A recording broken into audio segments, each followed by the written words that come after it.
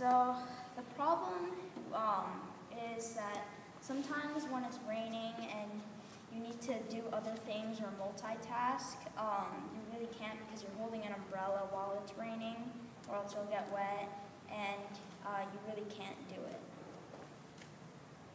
So an alternative could be you can go inside a building and wait out the rain. You can go to an overhang of a restaurant where they might have a place to um, uh, take shelter to do the thing you need to do.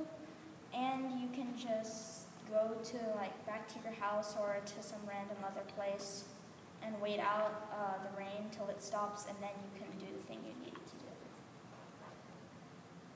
Okay.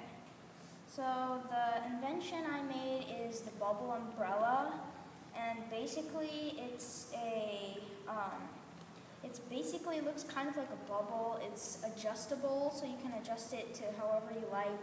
It goes about down to your waist, and basically it enables you to have both of your hands open uh, at all times to do the whatever you want, basically. Um,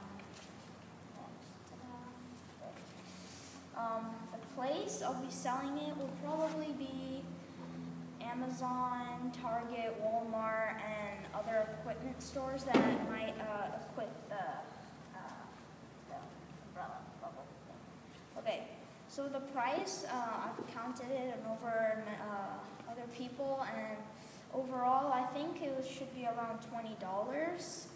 Uh, yeah, it's twenty dollars. Um, the promotion is, uh, I'll be um, putting this on TV commercials, ads, and billboards probably, and the billboard.